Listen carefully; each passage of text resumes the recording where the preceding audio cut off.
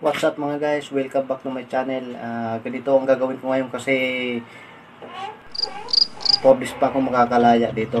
Ah, mag ano muna ako magpa-practice, magpa-barbie.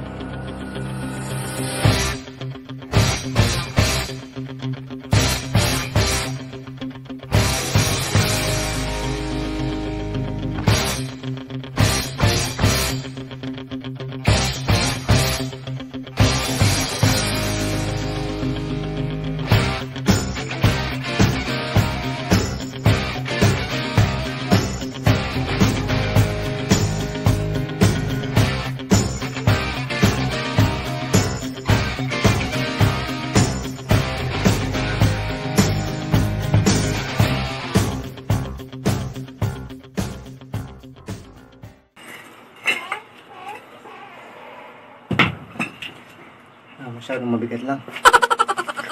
Mag-exercise tayo tuwing umaga, tuwing umaga, tuwing umaga. Mag-exercise tayo tuwing umaga upang ang katawan natin ay sumigla.